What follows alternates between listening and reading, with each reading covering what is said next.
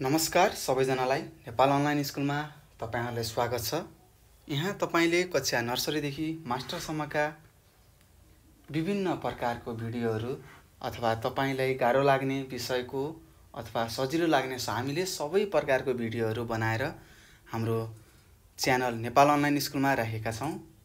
र तपाईँले अब पढ्न मन लाग्छ र आफूसँग पढ्ने सामग्री छैन भनेर अब तपाईँले टेन्सन लिनुपर्ने छैन चिन्ता लिनुपर्ने छैन किनभने हामी तपाईँहरूकै लागि भनेर तपाईँहरूकै लागि भनेर हामीले विभिन्न कक्षा नर्सरीदेखि मास्टरसम्मका भिडियोहरू बनाउँदै राखिरहेका छौँ। पाठ वाइज टपिक वाइज सबै तरिकाले हामीले भिडियोहरू राखेका छौँ। र यदि तपाईँलाई पढ्ने चाहना छ भने नेपाल अनलाइन स्कुल टाइप गरेर तपाईँ हाम्रो च्यानलसम्म पुग्न सक्नुहुनेछ र त्यहाँ आफूले चाहेको आफूले खोजेको विषयहरू खोजी खोजी पढ्न सक्नुहुनेछ। बास तपाईँको काम भनेको के हो? मात्र पढ्ने हो।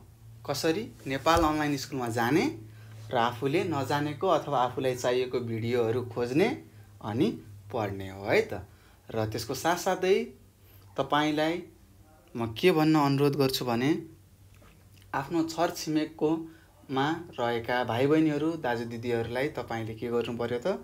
हाम्रो च्यानलको बारेमा कम्तीमा पनि पाँचदेखि दस लाइन भनिदिनु पर्यो र मलाई पूर्ण विश्वास छ यदि तपाईँ हाम्रो च्यानललाई भिजिट गर्नुभयो भने सब्सक्राइब त पक्कै पनि गर्नुहुनेछ र त्यसको साथसाथै लाइक र सेयर पनि गर्नुहुनेछ। र फेरि पनि नमस्कार मेरा प्यारा प्यारा भाइ बहिनीहरू म तपाईँ सामु आइसकेको छु। कक्षा दुईको मेरो नेपाली भन्ने किताब लिएर आइसकेको छौँ र हामीले पाठ दससम्मका भिडियोहरू बनाएर हालिसकेका छौँ र मलाई विश्वास छ कि तपाईँहरूले पाठ दससम्म पढिसक्नु भएको छ होला र आज हामी के पढ्छौँ त? पाठ एघार पढ्न जाँदैछौँ। पाठ एघार मेरो वातावरण भन्ने एकाइमा रहेको पाठ एघार आज हामीले पढ्न जाँदैछौँ। ल अब पाठ पढ्न त हामी सुरु गर्ने नै छौँ र पढ्नुभन्दा अगाडि हामीले के गर्नुपर्छ त्यो कुरा म तपाईँलाई एकचोटि सम्झाउँछु है त। के के गर्नुपर्छ ल भन्नुहोस् त। हो तपाईँहरूले भनेको ठिक हो। पढ्नुभन्दा अगाडि कपी र कलम र त्यसको साथसाथै आफ्नो पाठ्य पुस्तकलाई आफ्नो साथमा राखेर भिडियो हेरिदिनु होला भनेर म तपाईँलाई विनम्र अनुरोध गर्छु। र पक्कै पनि तपाईँहरूले आफ्नो कपी कलम लिएर बसिसक्नु भएको छ होला पाठ पढ्नको लागि र म आज तपाईँलाई पाठ एघार पढाउँदैछु है त। ध्यान दिएर सुन्नुहोस्। र यहाँ एक नम्बरमा लेखेको छ के लेखेको छ? लय मिलाई गाउनुहोस् भनेर यहाँ लेखेको छ। के भनेको छ अरे हो लय मिलाई गाउनुहोस् भनेको छ। र यसको शीर्षक के रहेछ? भन्नुहोस् है तपाईँले पनि सँगसँगै भन्नुपर्छ। राख्नुपर्छ नाम भन्ने यहाँ एउटा शीर्षकको एउटा गीत रहेछ। अब यो गीतलाई हामीले गाउने प्रयास गर्छौँ है त? म सुरु गरेँ तपाईँ पनि म सँगसँगै सुरु गर्नुहोला है त? ल हेर्नुहोस् गीत यस प्रकारको छ म गाउने प्रयास गर्छु है त? गगनसँग धन थियो गणेशलाई दियो गणेशले गन गन गर्दै गुलियो पनि लियो गुनिलो छ निलो ताल। कति राम्रो धाम। गरौँ गरौँ राम्रो काम। राख्नु पर्छ नाम। गजब कुरायो साग। जब उसले पायो बिरालाले रालो खोज्न धेरै पटक धायो। कृतिभित्र आकृति छ। हेर्दा लाग्छ घाम। गरौँ गरौँ राम्रो काम। राख्नु पर्छ नाम। हो एउटा सानो गीत दिएको थियो। मैले तपाईँलाई गीत गाएर सुनाएँ र मलाई तपाईँहरूले पनि मैले गीत गाउँदाखेरि साथ दिनुभएको होला। धेरै खुसी लाग्यो साथ दिनुभएको छ भने। यदि दिनुभएको छैन भने आफूले पनि एकचोटि पढ्ने प्रयास गर्नुहोला है त? पढ्ने प्रयास गर्नुहोला। आफूले पनि पढ्नुपर्छ लय मिलाएर कसरी गाउन सकिन्छ? यो चाहिँ तपाईँले के गर्नुपर्छ? धेरै प्रयासहरू गर्नुपर्छ अनि मात्र तपाईँले लय हालेर गीत गाउन सक्नुहुन्छ। र अब यहाँ यो गीतले के सन्देश दिन खोजेको छ त हामीलाई? यसको बारेमा पनि केही कुरा गरौँ होइन त? गर्नुपर्छ ल हेरौँ यहाँ के भनेको छ? गगनसँग धन थियो गणेशलाई दियो। गणेशले गनगन गर्दै गुलियो पनि लियो भनेको छ। के गर्नुपर्छ? यदि तपाईँसँग केही कुरा छ भने त्यो कुरालाई हामीले के गर्नुपर्छ? बाँड्न जान्नु पर्दछ अरूलाई सहयोगको लागि सहयोगको हात फैलाउनु पर्छ भनेको। हामीले राम्रो काम गर्नुपर्छ। एकअर्कालाई सहयोग गरे अर्कोलाई पनि राम्रो काम गर्नलाई प्रेरित गर्नुपर्छ भनेको। र हामीले राम्रो काम गरेपछि के हुन्छ? हाम्रो नाम चल्छ। समाजमा हामीलाई सबैले चिन्छन्। होइन त? सबैको मुखबाट तपाईँको नाम राम्रो वाक्य निक्लिन्छ। जस्तै ए फल्नु भाइ अथवा यो नाम गरेको भाइ कति राम्रो छन्। उनी त पढाइमा पनि राम्रो छन् र त्यसको साथसाथै सामाजिक कार्यहरूमा पनि राम्रो छन् भनेर तपाईँको कानमा कसैले भन्यो भने कस्तो लाग्छ? गर्व लाग्छ नि खुसी लाग्छ होला। आहा कति राम्रो वाक्य बोल्यो मेरो बारेमा भनेर तपाईँ खुसी हुनुहुन्छ होला। त्यसैले के गर्नुपर्छ त? राम्रो काम गर्नुपर्छ अनि मात्र हाम्रो नाम राम्रो हुन्छ है त? यसरी हामीले यो पाठ एघारमा भएको एक नम्बरमा लय मिलाइ गाउनुहोस् भनेको थियो। हामीले लय मिलाएर गाइसकेका छौँ। अब हामी प्रश्न नम्बर दुईतिर जाउँ है त। ल हेर्नुहोस् यहाँ प्रश्न नम्बर दुईमा के भनेको छ? चित्र हेरी वर्णन गर्नुहोस् भनेको छ। के भनेको छ? यहाँ तल एउटा चित्र दिएको रहेछ। त्यो चित्रमा हामीले हेरेर के के बुझ्छौँ त त्यो कुरा हामीले मुखले भन्नु पर्यो भनेको वर्णन भनेको। यो चित्र हेरेर वर्णन गर्नु पर्यो। हेर्नुहोस् त। दुईवटा नानी बाबुहरू के गरिरहनु भएको छ? उभिएर एक नाचले यहाँ चरालाई हेरिरहनु भएको छ। चरा यो मैना चरा हो। यो चराको नाम के हो अरे मैना चरा भन्छौँ है त। यसको नाम मैना हो। यो पहाडी भेगहरूमा पाइन्छ। यदि पहाडतिर बस्नुहुन्छ भने तपाईँहरूले यो चरालाई देख्नुभएको होला। यसको नाम के हो अरे मैना हो। अथवा कतिपय ठाउँमा त सारी पनि भन्छ यसलाई। के भन्छ अरे सारी पनि भन्छ। हेर्नुहोस् त यो सारीले के गरेको छ यो मैना चरोले कता कताबाट घुमेर चारो लिएर आएको छ। अब चारो भनेको के हो भने चराहरूले खाने खाना। जस्तै हामीले खाना के के खान्छौँ? दाल भात तरकारी खान्छौँ नि। त्यस्तै चराहरूले खाने खानालाई के भन्छौँ? चारो भन्छौँ। त्यो चारो के के हुनसक्छ त? किरा फटेङ्ग्राहरू हुनसक्छ गँडेउलाहरू हुनसक्छ। त्यस्तै गहुँ धान मकैहरू आदिहरू हुनसक्छ। उसले के गरेको छ टाढा टाढाबाट चारोहरू खोजेर के गरेको छ त? आफ्नो साना साना नानी बच्चाहरूलाई बचेराहरूलाई हामीले चित्रमा देख्न सक्छौँ। बचेराहरू आ गरेर बसिरहेका छन्। उनीहरूलाई चारो खुवाउँदैछ हुर्काउँदैछ भनेको। र अर्को हामीले यहाँ के देख्न सक्छौँ? हामी माथि पढेका थियौँ अघिल्लो पाठमा फुलको नामहरू। यो फुलको नाम के हो भन्नुहोस् त? गुलाब हो। के हो? गुलाब हो। यो फुलको नाम के हो त?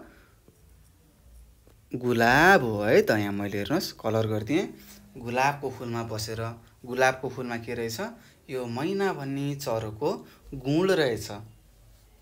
त्यो गुडमा बचेराहरू रहेछन्। उसले के गरेछ? टाढा टाढाबाट चारोहरू खोजेर आफ्नो बच्चाहरूलाई खुवाइरहेको छ। र यहाँ दुईजना साथीहरू भनौँ या तपाईँहरू जस्तै साना साना नाना बाबुहरू साथीहरू के गर्नुभएछ त? बगैँचामा गएर त्यो चराको गुणलाई हेर्दै निहालेर त्यतै मस्त हुनुभएको छ त्यतै भुलिरहनु भएको छ त्यहीँ टोलाएर बसिरहनु भएको छ भनेर हामीले यो चित्र हेरेर वर्णन गर्न सिक्यौँ। र यसरी के भयो त? हामीले प्रश्न नम्बर दुईमा रहेको चित्र हेरी वर्णन गर्नुहोस् भनेको थियो हामीले पढन गरिसकेका छौँ। यो नानी बाबुहरू कहाँ जानुभएको रहेछ त? हो बगैँचामा अथवा फुलबारी भन्छ फुलबारीमा बस्नुभएको रहेछ। अब हामी प्रश्न नम्बर दुई सक्यौँ। अब हामी प्रश्न नम्बर तिनमा जाउँ है त। र हेर्नुहोस् त यहाँ तिनमा के लेखेको छ? यहाँ लेखिरहेको चित्र हामीले देख्न सक्छौँ। अब हाम्रो काम के रहेछ त? लेख्नुपर्ने रहेछ। अब के लेख्ने त? त्यो लेख्नुभन्दा अगाडि के गर्नुपर्छ हामीले? प्रश्नलाई राम्रोसँग पढ्नुपर्छ र बुझ्नुपर्छ। प्रश्नले के भनिरहेको छ भनेर हामीले बुझ्नुपर्छ। यहाँ के लेखेको छ? पढ्नुहोस् र छुट्याएर लेख्नुहोस् भनेको छ। यहाँ के भनेको छ? पहिला यहाँ दिएको शब्दहरू पढ्नुहोस् अनि त्यो शब्दहरूलाई हामीले छुट्याएर लेख्नुपर्छ अथवा लेख्नुहोस् भनेर यहाँ भनेको छ। जसरी हामीले यहाँ एउटा उदाहरण दिएको छ तपाईँलाई मलम भन्ने एउटा शब्द छ त्यसलाई कसरी टुक्राएको छ? म एउटामा ल एउटामा म एउटा। मलमलाई बिचमा अथवा यसलाई छुट्याएर बण बणमा लेखेको छ। त्यसै गरी अब हामीले यहाँ रहेको शब्दहरू महल हिउँद गतिलो यो तिनवटा शब्दलाई हामीले के गर्नु पर्यो त? टुक्र्याएर अथवा छुट्याएर बण बणमा लेख्नु पर्यो भनेको है त यो प्रश्नले। बुझ्नु भएको छ यहाँसम्म? पक्कै पनि बुझ्नुभएको छ होला। ल हेरौँ। अब यो महल भन्ने शब्दलाई टुक्र्याउँ है त हामीले पहिला। कसरी टुक्र्याउँछौँ? ल भन्नुहोस् त सुरुमा के लेख्ने? स्याबास म लेख्नुपर्छ। त्यस्तै त्यसपछि? ह त्यसपछि ल। यसरी हामीले के गर्यौँ त? म हल भनेर छुट्याएर लेख्यौँ। त्यसै गरी अब हामी अर्को शब्द हिउँदलाई छुट्याउँ है त। ल भन्नुहोस् कसरी छुट्याउन सक्छौँ यसलाई? ठिक भन्नुभयो। सुरुमा हि लेख्ने अनि उ लेख्ने अनि द लेख्ने। हिउँद भनेर हामीले छुट्यायौँ। त्यसै गरी भन्नुहोस् यो गतिलो लेखेको छ। यो गतिलो लेखेकोलाई कसरी छुट्याउन सक्छौँ? ठिक भन्नुभयो। कसरी? सुरुमा ग लेख्ने त्यसपछि ती लेख्ने अनि लो लेख्ने। गतिलो भयो। यसलाई मैले कलर लगाइदिएँ तपाईँहरूलाई हेर्न सजिलो हुन्छ भनेर मैले यहाँ कलर लगाइदिएको छु। तपाईँहरूले बुझ्नु पनि भइसकेको होला र आफ्नो कपीमा सार्नु पनि भइसकेको होला। र यसरी हामीले के गर्यौँ प्रश्न नम्बर तिनमा भनेको थियो पढ्नुहोस् र छुट्याएर लेख्नुहोस् भनेको थियो। हामीले यहाँ भएको शब्दहरूलाई पढ्यौँ र छुट्याएर पनि लेखिसकेका छौँ। अब हामी कति नम्बरमा जान्छौँ भन्नुहोस् त? स्याबास हामीले तिन नम्बर सक्यौँ अब हामी चार नम्बरमा जान्छौँ। ल हेर्नुहोस् चार नम्बरमा के भनेको छ यो पढौँ है त। हेर्न सक्छौँ हामीले यहाँ चार नम्बरमा। चित्रसँग मिल्ने नाम शब्दमा गोलो घेरा लगाउनुहोस्। यहाँ केही चित्रहरू दिएको छ? यो चित्रहरू के हो? यसको नाम हामीले थाहा पाउनु पर्छ र त्यो नामलाई हामीले के गर्नु पर्यो त? गोलो घेरा लगाउनु पर्यो भनेको छ। अब हामीले हेरौँ यो पहिलो चित्र के को होला? ल भन्नुहोस् त। तपाईँले यो चित्र यस्तो चित्र अथवा यस्तो किरा तपाईँले देख्नुभएको छ त? यस्तो जनावर? भन्नुहोस् त के होला यो? मौरी हो। मह त खानुभएको छ। मौरीले मह दिन्छ। मह त पक्कै पनि खानुभएको छ होला। र मह खाइसकेपछि मौरी नदेख्ने कुरा पनि हुँदैन। सबैले मौरीलाई देख्नुभएको होला। यो के रहेछ यो? मौरी रहेछ। अब यहाँ तल हेर्नुहोस् त यहाँ तिनवटा शब्दहरू छन्। अब यो मध्येमा यो मौरी छ कि छैन हेर्नुहोस् त। छ। छ। अब यो मौरीलाई हामीले के गर्नु पर्यो गोलो घेरा लगाउनु पर्यो मैले यहाँ गोलो घेरा लगाएँ। तपाईँले पनि आफ्नो पुस्तकमा अथवा आफ्नो कपीमा गोलो घेरा लगाउनुहोस् है त। त्यसै गरी भन्नुहोस् यहाँ अर्को चित्र छ। यो चित्र के को होला भन्नुहोस् त। हो यो चित्र के को हो? पुतलीको हो। पुतलीहरू त हामीले देखेका छौँ। पुतलीको टिका पनि त लगाउनुहुन्छ होला नि। पैसा पाइन्छ पैसा भेटाइन्छ भनेर। होइन? हो पक्कै पनि। गाउँघरतिर बस्ने नानी बाबुहरूले पुतलीको टिका लगाउनु भएको छ होला। अनि के तपाईँले पुतलीको पैसा टिका लगाएर पैसा भेटाउनु भयो त? कतिपयले त भेटाउनु भयो होला। चान्सले भेटाउनु भयो लकले भाग्यले भेटाउनु भयो कतिपयले त अझै पनि भेटाउनु भएको छैन होला। ल यो के हो? पुतली हो। अब पुतली कहाँनिर छ? त्यसलाई गोलो घेरा लगाउँ है त। मैले यसरी गोलो घेरा लगाएँ यहाँ पुतली भेटाएर गोलो घेरा लगाएँ। त्यसै गरी यो चित्रहरू के को होला भन्नुहोस् त। यहाँ हेर्दाखेरि हामीले थाहा पायौँ यो त औषधि हो। हो के हो अरे औषधिको चित्र दिएको छ। अब यहाँ तल औषधि छ कि छैन खोज्नुहोस् र त्यसलाई गोलो घेरा लगाउनुहोस् है त। मैले त देखेँ मैले लगाएँ तपाईँहरूले पनि गोलो घेरा लगाउनु होला है त। त्यसै गरी यहाँ देखाएको चित्र के होला ल भन्नुहोस् त। के को फुल हो यो पहिला भन्नुहोस् त। यो त फुल हो। हामीले थाहा पायौँ के को फुल हो। यो फुललाई हामीले कमल भन्छौँ। के भन्छौँ? कमल फुल भन्छौँ। के भन्ने रहेछौँ? कमल फुल भन्ने रहेछौँ है त। ल अब यहाँ फुल छ कि छैन हेर्नुहोस् अनि गोलो घेरा लगाउनुहोस्। छ यहाँ फुल छ। र मैले देखिसकेँ र मैले गोलो घेरा पनि लगाइसकेँ। सायद तपाईँले पनि म सँगसँगै यहाँ भएको चित्रसँग अथवा चित्रको नामहरू थाहा पाएर यसको नामहरू खोजेर गोलो घेरा लगाइसक्नु भएको होला। अब हामी यसै गरी चार नम्बरको काम सक्यौँ। अब हामी पाँच नम्बरमा जान्छौँ है त। पाँच नम्बरमा के भनेको छ हेरौँ। साथीलाई सुन्न लगाई पढ्नुहोस् भनेको छ। के भनेको छ? साथीलाई सुन्न लगाएर पढ्नुहोस् भनेको छ। किन भनेको होला? तपाईँले पढेको ठिक छ कि छैन भनेर अथवा तपाईँले पढ्न जान्नुभएको छ कि छैन भनेर यहाँ तपाईँले पढ्न लगाएको। ल अब हामी सबैले यो पढौँ है त। के लेखेको रहेछ? पहिला पढौँ। ल मैले सुरु गरेँ। तपाईँले ध्यान दिएर सुन्नुहोला अनि तपाईँले पनि पढ्नुहोला है त। हुन्छ? ल ठिक छ। अब म पढेँ। मौरी र पुतली आकाशमा उड्छन् पुतली राता पहेँला सेता र रङ्गी बिरङ्गी हुन्छन्। मौरी एकै रङका हुन्छन्। पुतलीले मौरीले जस्तै फुलको रस चुस्छन्। मौरी मेहनती हुन्छन्। फुलको रसबाट मौरीले के बनाउँछ त? मह बनाउँछ। मलाई पुतली मनपर्छ तर पुतलीले मह बनाउँदैनन्। त्यही भएर मौरी घरमा पालेको छु। पुतली खेतबारीतिरै बस्छन् भनेर यहाँ एउटा सानो मौरी र पुतलीको बारेमा लेखिएको थियो। र यहाँबाट हामीले के थाहा पायौँ त मौरीले के बनाउने रहेछ त? मह बनाउने रहेछ। त्यस्तै पुतलीले मह बनाउँछ त? बनाउँदैन। र हामीलाई थाहा भयो कि मौरी त सबै एउटै रङका हुने रहेछ एकै रङको मात्र हुने रहेछन्। त्यस्तै पुतली विभिन्न रङ्गी बिरङ्गी हुने रहेछन्। धेरै रङको पुतलीहरू हामीले देख्न सक्छौँ। र दुवैले के गर्छ? फुलको रस चुस्छ।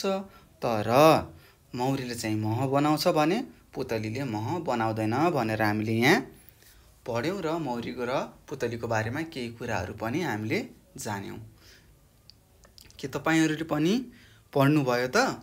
यदि पढ्नुभएको छैन भने एकचोटि यो भिडियोलाई रोक्नुहोस् हातले आफ्नो स्क्रिनमा ट्याक्क छुनुहोस् भिडियो रोकिन्छ। अनि मजाले आफ्नो स्क्रिनमा देख्नु भएको हुन्छ देखिरहनु भएको हुन्छ। यहाँ सर र पढ्नुहोस् अनि फेरि पढिसकेपछि एकचोटि फेरि आफ्नो स्क्रिनलाई हातले टुच्च छुनुहोस् फेरि भिडियोहरू प्ले हुँदै जान्छ। र अब हामी के गर्छौँ? पाँच नम्बरको सक्यौँ। छ नम्बर जाउँ है त। अब छ नम्बरमा के छ? प्रश्न नम्बर छमा हेरौँ। यहाँ लेखिएको छ पढ्नुहोस् र उत्तर भन्नुहोस् भनेको छ। के भनेको छ? पढ्नुहोस्। पहिला यहाँ के लेखेको छ? यो कुरा हामीले पढ्नु पर्यो। र यहाँ तल केही प्रश्नहरू सोधेका छन्। त्यो प्रश्नहरूको उत्तर पनि हामीले दिनु पर्यो भनेको छ। हेर्नुहोस्। अब यहाँ के लेखेको रहेछ? पढौँ है त। यहाँ वन जङ्गल जोगाउँ भनेको छ। के भनेको छ? वन जङ्गल जोगाउँ भनेको छ। जस्तै योभन्दा अगाडिको पाठमा हामीले के गरेको थियौँ? यदि वनमा आगो लाग्यो भने के कस्ता विनाशहरू हुन्छन् भनेर हामीले त्यहाँ पढेका थियौँ। अब यहाँ के भनेको छ? वन जङ्गल जोगाउनु पर्छ भनेर यहाँ एउटा सानो लेख लेखेको छ अथवा सानो पाठ छ। यसलाई हामीले पढौँ। किन जोगाउनु पर्ने रहेछ त यो कुराहरू हामीले यो पढिसकेपछि छर्लङ्ग हुँदै हामीले सिक्नेछौँ है त। ल यहाँ के लेखेको छ? हरियो वन जङ्गल नै जङ्गली जनावर र चराहरूको घर हो। यहाँ लेखेको छ हरियो वन जङ्गल नै जङ्गली जनावर र चराहरूको घर हो। बाघ भालु गैँडा हात्ती चितुवा स्याल जस्ता धेरै जनावरहरू जङ्गलमै खान्छन्। त्यहीँ खेल्छन् र जङ्गलमै सुत्छन् भनेर यहाँ लेखेको छ। के के लेखेको छ? बाघ भालु गैँडा हात्ती चितुवा जस्ता धेरै जनावरहरू के गर्छन् जङ्गलमै बस्छन् जङ्गलमै खान्छन् र जङ्गलमै खेल्छन् भनेर यहाँ लेखेको छ। त्यहाँ डाँफे मुनाल मयुर कोइली जस्ता धेरै जातका चराहरू पनि बस्छन्। कहाँ बस्छन् रे? जङ्गलमा। के? जङ्गली जनावरहरू र चराहरू धेरै प्रकारका चराहरू जङ्गलमा बस्छन्। यिनीहरू जङ्गलमा खाने बस्ने खेल्ने भएकाले वन जङ्गल पनि रमाइलो हुन्छ। सुन्दर देखिन्छ। वन जङ्गलले हाम्रो वातावरणलाई अथवा हाम्रो वातावरण सफा र राम्रो देखिन्छ। वन जङ्गल मानिसका लागि धेरै उपयोगी पनि छ। गाईबस्तुका लागि घाँसपात खाना पकाउनका लागि चाहिने दाउरा वनबाट पाइन्छ। हाम्रो सायद गाउँघरतिर बस्ने नानी बाबुहरूले थाहा होला कति कतिजनाको घरमा दाउराले खाना पकाउनुहुन्छ भन्नुहोस् त। हो तपाईँहरूको घरमा दाउरा कहाँदेखि आउँछ? जङ्गलबाट आउँछ।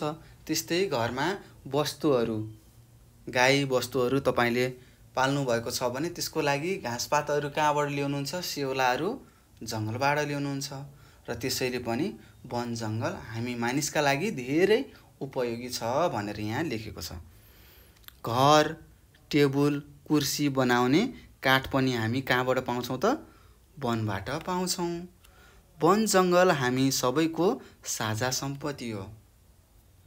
हामी सबैको हामी जति प्राणीहरू छौँ त्यो ती प्राणीहरूको वन जङ्गल के हो? साझा सम्पत्ति हो। जस्तै हामीले हाम्रो घरलाई हाम्रो मात्र सम्पत्ति हो अरूको होइन भन्छौँ नि। त्यस्तै जङ्गललाई त्यस्तो भन्न पाइँदैन। यो साझा सम्पत्ति हो। त्यहाँ जो कोही पनि जान सक्छ है त। त्यसैले वनका रुखहरू जथाभावी काट्नु हुँदैन। अब यो साझा हो भनेर सबैले यो मेरै हो भनेर सबै काट्नु पनि हुँदैन। त्यसको के गर्नुपर्छ? संरक्षण गर्नुपर्छ। एउटा रुख काट्नुभन्दा पहिले दुईवटा बिरुवा रोप्नुपर्छ भनेर यहाँ लेखेको छ। के भनेको छ? एउटा रुख काट्नुभन्दा पहिले हामीले के गर्नुपर्छ त? दुईवटा रुखहरू रोप्नुपर्छ भनेर यहाँ हामीलाई सिकाएको छ। किन होला? यदि हामीले रुख मात्र काटिरह्यौँ भने त जङ्गल रित्तिन्छ सकिन्छ। अब जङ्गल सकियो भने के हुन्छ? घाँस दाउरा गर्न पाउँदैनौँ हामीले। हामीलाई घरमा चाहिने काठहरू चाहिँदैन। के अरे काठहरू बनाउन सक्दैनौँ टेबल कुर्सीहरू बनाउन सक्दैनौँ। गाई भैँसीलाई कहाँ लगेर चराउने कताबाट घाँस ल्याउने त्योहरू गर्न पाइँदैन। त्यसैले यहाँ के भनेको छ? जङ्गल काट्नुभन्दा पहिले के गर्नुपर्छ? रुखहरू रोप्नुपर्छ भनेको। रुखहरू रोपेपछि त के भयो? घाँस दाउरा पाउँछौँ हामीले त्यसबाट होइन त? त्यसैले जङ्गलको जगेर्ना गर्नुपर्छ त जङ्गललाई जोगाउनुपर्छ भनेको। वनमा भएका चरा र जनावरलाई पनि मार्नु हुँदैन। वनमा आगो लागि हुनुबाट जोगाउनु पर्छ वन जङ्गल बढाउन खाली जमिनमा बिरुवाहरू रोप्नुपर्छ। वन जङ्गल जथाभावी काट्नेलाई दण्ड सजाय दिनुपर्छ। वन जङ्गलले नै हाम्रो वरपरको वातावरण सफा राख्न मद्दत गर्छ। त्यसैले वन जङ्गलको संरक्षण गरौँ। हाम्रो वातावरण स्वच्छ सफा र हरियाली राखौँ भनेर यहाँ लेखेको छ। के भनेको छ? हामीले वन जङ्गलमा अथवा हामीले वन जङ्गलमा भएका चरा जनावरहरूलाई मार्नु हुँदैन र वन जङ्गलमा आगो लागि हुनुबाट जोगाउनु पर्छ वन जङ्गल भनेर यहाँ लेखेको छ। र हामीले वन जङ्गल जोगाउनुको लागि के गर्नुपर्ने रहेछ त? एउटा आगो लागि लाग्नुबाट बचाउनु पर्ने रहेछ। एउटा जथाभावी रुखहरू काट्नु हुँदैन रहेछ। हामीले खाली ठाउँहरूमा रुखहरू रोप्नु पर्ने रहेछ। र यदि कसैले नमानेर वन जङ्गल जथाभावी काट्छ भने उसले के गर्नुपर्छ? जरिवाना तिराउनु पर्छ दण्ड सजाय दिनुपर्छ सजाय दिनुपर्छ अनि मात्र मान्छेले गल्ती काम गर्दैन। र यदि हामीले वन जङ्गलको संरक्षण गऱ्यो भने के हुन्छ? हाम्रो वातावरण स्वच्छ हुन्छ सफा हुन्छ हरियाली हुन्छ र हामी स्वस्थ हुन्छौँ भनेर यहाँ लेखिएको छ। र यहाँ तल केही प्रश्नहरू छन्। अब यी प्रश्नहरूको हामीले उत्तर दिने प्रयास गरौँ है त। हुन्छ? ल हेरौँ। के के प्रश्नहरू छन्? यी प्रश्नहरूको हामीले उत्तर दिने प्रयास गरौँ है त। हामीले यहाँ क नम्बरमा देख्न सक्छौँ। चरा र जनावरको घर कहाँ रहेछ भनेर यहाँ सोधेको छ। हामीलाई त थाहा छ चरा र जनावरको घर कहाँ छ? जङ्गलमा छ। कहाँ छ अरे जङ्गलमा रहेछ भनेर हामीले लेख्नु पर्यो। कसरी लेख्नु पर्यो? चरा र जनावरहरूको घर जङ्गलमा रहेछ भनेर लेख्नु पर्यो है त? लेख्नुहोस् है। र त्यसै गरी ख नम्बरमा जाउँ। वन जङ्गल किन रमाइलो हुन्छ भनेको छ। वन जङ्गल किन रमाइलो हुन्छ? किनभने वन जङ्गलमा विभिन्न प्रकारका चराहरू हुन्छन् विभिन्न प्रकारका जनावरहरू हुन्छन्। हरियाली हुन्छ त्यसैले वन जङ्गल रमाइलो हुन्छ भनेर हामीले यहाँ लेख्नु पर्यो। विभिन्न प्रकारका जनावर र चराहरू भएका कारण भएका कारण वन जङ्गल रमाइलो हुन्छ भनेर तपाईँले लेख्नु पर्यो है त। मिलाएर लेख्नुहोस् है। यहाँ ठाउँ नभएको कारणले मैले यहाँ प्रश्नमा पनि रातो रातो रङ लगाइदिएको छु। यो भनेको के हो? यहाँ प्रश्नमा मैले लगाएको रङ लगाएकोहरू पनि हामीले लेख्नुपर्छ भनेको। कसरी लेख्ने? विभिन्न प्रकारका जनावर र चराहरू भएका कारण वन जङ्गल रमाइलो हुन्छ भनेर हामीले लेख्नु पर्यो त्यसै गरी अब हामी ख न ग नम्बरमा जाउँ। मानिसले वन जङ्गलबाट के के ल्याउँछन् भनेको छ। के के ल्याउँछौँ त हामीले? दाउरा त्यस्तै घाँसपात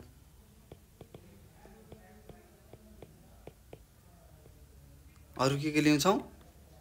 भन्नुहोस्। काठहरू लिएर आउँछौँ। यसरी अब हामीले यसलाई मिलाएर लेख्नु पर्यो। मानिसले जङ्गलबाट दाउरा घाँसपात र काठ ल्याउँछन् भनेर हामीले लेख्नु पर्यो है त? कसरी लेख्ने रे? मानिसले जङ्गलबाट दाउरा काठ र घाँसपात ल्याउँछन् भनेर हामीले लेख्नुपर्छ। त्यसै गरी अब हामी ग नम्बरमा जाउँ। ग नम्बरको सक्यौँ? घ नम्बरमा जाउँ। घ नम्बरको प्रश्नले के भनेको छ? हामीले वन जङ्गललाई कसरी जोगाउन सकिन्छ भनेको छ। कसरी जोगाउन सकिन्छ रे भन्नुहोस् त हामीले अघि भर्खरै पढेका थियौँ कसरी? त्यहाँ भएका जनावरहरूलाई मार्नु हुँदैन। आग लागि हुनुबाट जोगाउनु पर्छ आग लागिबाट जोगाउनु पर्छ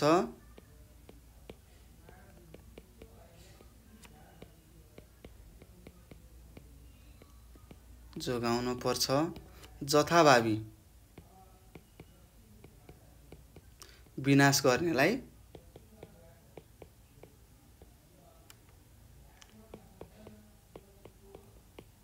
गर्नेलाई के गर्ने? दण्ड सजाय दिनुपर्छ।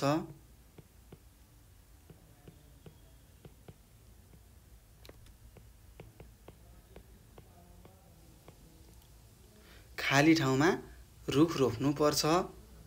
लेख्नुहोस् है त म सँगसँगै लेख्नुहोस्।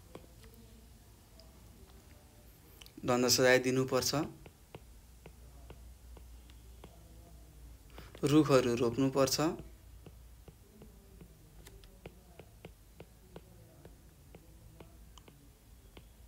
पर्छ आदि भनेको छ। आदि भनेको के अरू अरू पनि छन् भनेको हो यो। यहाँ आदि लेखेँ नि मैले। किन आदि लेखेँ होला? अरू अरू प्रक्रियाहरू पनि छन् भनेर हामीले बुझ्नुपर्छ भनेर यहाँ मैले आदि लेखेको छु। र घ नम्बरको उत्तर के रहेछ त? हामीले वन जङ्गललाई कसरी जोगाउनु सकिन्छ भन्दाखेरि अब हामीले यहाँ माथि पनि हेर्न सक्छौँ।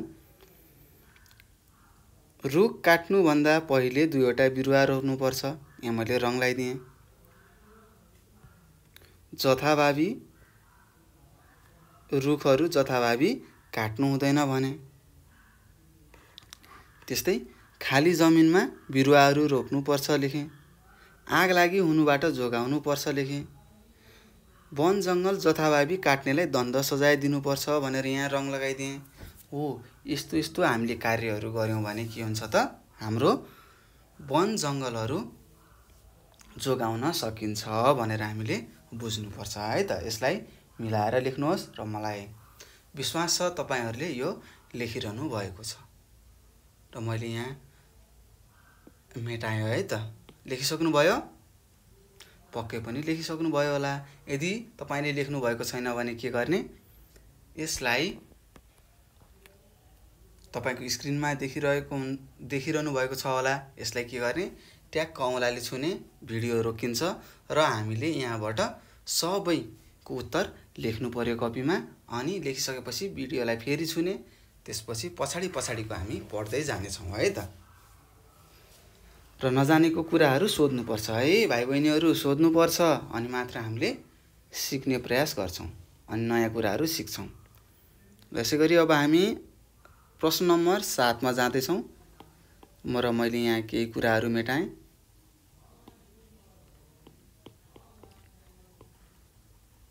यहाँ गज्याङ मज्याङ हुन्छ भनेर मैले यहाँ कुराहरू मेटाएको छु। र तपाईँले यहाँ के लेखेको थिएँ भर्खरै मेटाएँ त मेटाएँ। यो सरले मेटाउनु भयो अब टेन्सन लिने ला भनेर बस्ने होइन। अलिकति भिडियोलाई पछाडितिर लग्ने ब्याक गर्ने। ट्याक ट्याक ट्याक ब्याक गर्ने अनि यहाँ लेखेको कुरा देख्न सक्नुहुन्छ तपाईँले। यसै गरी अब हामीले छ नम्बरको गरिसक्यौँ पढिसक्यौँ बुझिसक्यौँ र यहाँ सोधेका प्रश्नहरू पनि हामीले लेखिसक्यौँ। अब हामी कति नम्बरमा जान्छौँ? सात नम्बरमा जाँदैछौँ। सात नम्बरमा के लेखेको छ?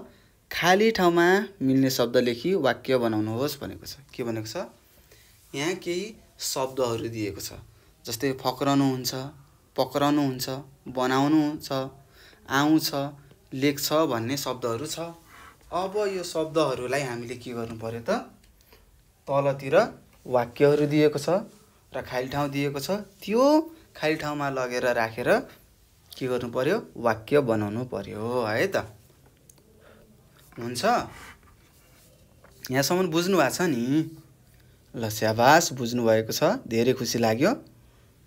अब हामी यो प्रश्न नम्बर सातले सोधेको कुरा पढौँ है त। ल प्रश्न नम्बर सातले के भनेको छ अरे? खाली ठाउँमा मिल्ने शब्द राखेर वाक्य बनाउनुहोस् भनेको छ। त्यस्तै क नम्बरमा के लेखेको छ? रतनले कविता खाली ठाउँ छ डट डट भनेर खाली ठाउँ छोडेको छ। अब के होला भन्नुहोस् त यो माथिको चारवटा शब्दमध्ये के हुनसक्छ? कविता के हुन्छ? पक्रनु हुन्छ मिल्छ मिल्दैन। बनाउँछ मिल्छ मिल्दैन। आउँछ मिल्छ मिल्दैन। के मिल्छ त? लेख्छ मिल्छ। त्यसैले हामीले यहाँ लेख्छ भनेर लेख्यौँ। त्यस्तै ख नम्बरमा जाउँ। मौरीले मह के गर्छ त? बनाउँछ। कसले मह बनाउँछ? मौरीले मह बनाउँछ भनेर हामीले यहाँ लेख्यौँ। तपाईँले पनि म सँगसँगै सार्नुहोस् है त सार्नुपर्छ। त्यसै गरी ग नम्बरमा हेर्नुहोस् प्रहरी दाईले चोर पक्रनुहुन्छ अब यो पक्रनुहुन्छ लेखेको छ। यो भने के हो? समात्नुहुन्छ भनेको हो है त। प्रहरी दाईले चोर पक्रनु हुन्छ भनेर हामीले यहाँ लेख्नुपर्छ। लेख्नुभयो त? लेख्नुहोस् है। यहाँ मैले रङ पनि लगाइदिएको छु। लेख्नुहोस्। त्यस्तै गरी घ नम्बरमा भन्नुहोस् त। घ नम्बरमा के हुन्छ होला? सुखीराम बिहानै आउँछ के हुन्छ अरे आउँछ हुन्छ है त। त्यसैले हामीले यहाँ आउँछ लेख्यौँ र वाक्य पनि मिल्यो। ल पढ्नुहोस् त एकचोटि। तपाईँहरूले पढ्नुहोस् त यो वाक्यहरू। क नम्बरको के छ? रत्नले कविता लेख्छ। त्यस्तै ख नम्बरमा मौरीले मह बनाउँछ। त्यसै गरी ग नम्बरमा के छ? प्रहरी दाइले चोर पक्रनु हुन्छ पक्रनु हुन्छ यो भनेको के हो? समात्नु हुन्छ भनेको।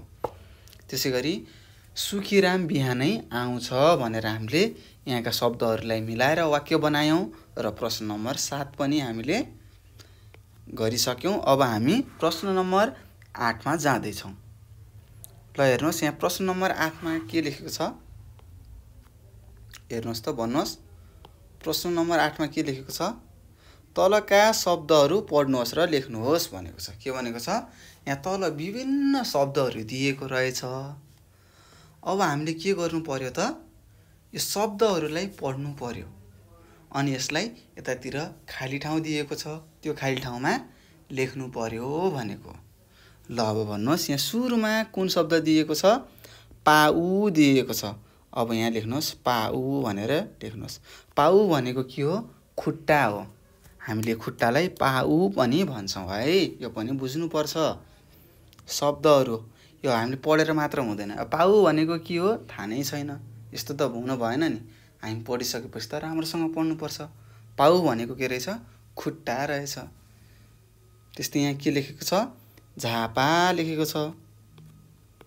अब हामीले यहाँ झापा लेखौँ। अब झापा भनेको त जिल्लाको नाम हो हाम्रो नेपालको जिल्लाको नाम हो। त्यस्तै पाल्पा लेखेको छ। पाल्पा भनेको पनि हाम्रो जिल्लाको नाम हो। त्यस्तै यहाँ गाज लेखेको छ। गाज लेखेको छ। लेख्नुहोस् है। के लेखेको छ? गाज लेखेको छ। मैले यहाँ कलर लगाइदिएँ त्यसै गरी अर्को छ। आँच छ। आँच लेख्नुहोस् है। त्यस्तै यहाँ अर्को के छ? पाता लेखेको छ। के छ? पाता लेखेको छ। लेख्नुहोस्। अनि पढ्नुहोस्। दुई दुईचोटि पढ्नुहोस्। पाता भनेर पढ्नुहोस्। एकचोटि लेख्नुहोस् अनि फेरि त्यसलाई पढ्नुहोस्। त्यसै गरी भन्नुहोस् यहाँ के लेखेको छ?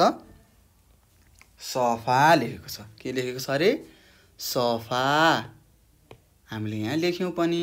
के लेख्यौँ? सफा लेख्यौँ। त्यसै गरी भन्नुहोस् यहाँ के छ? चल लेखेको छ। चल लेखेको छ र हामीले चललाई लेख्यौँ पनि र पढ्यौँ पनि। यसै गरी यहाँ प्रश्न नम्बर आठमा सोधेको थियो शब्दहरूलाई पढ्नुहोस् र लेख्नुहोस् भनेको थियो। हामीले यहाँ भएका शब्दहरू पढ्यौँ र त्यसलाई लेख्यौँ पनि। अब हामी के गर्छौँ त? प्रश्न नम्बर नौमा जान्छौँ। अब यो नौ नम्बरमा के लेखेको छ? ल पढ्नुहोस् त एकचोटि। ठिक भन्नुभयो यहाँ लेखेको छ तलका शब्द प्रयोग गरी तपाईँको घरको बारेमा बताउनुहोस् भनेको छ। के भनेको छ? यहाँ तल के शब्दहरू दिएको छ? यो शब्दहरू प्रयोग गरेर हामीले हाम्रो घरको बारेमा भन्नु पर्यो अब रङ भनेको छ। तपाईँको घरमा कस्तो रङ लागेको छ त्यो तपाईँले भन्नु पर्यो कपीमा लेख्नुहोस् है लेख्नुहोस्। मेरो घरमा पहेँलो रङ लगाएको छ भनेर लेख्नु पर्यो। त्यस्तै सफा सफा भनेको के हो? सफा राम्रो सुग्घर भन्नुहुन्छ नि।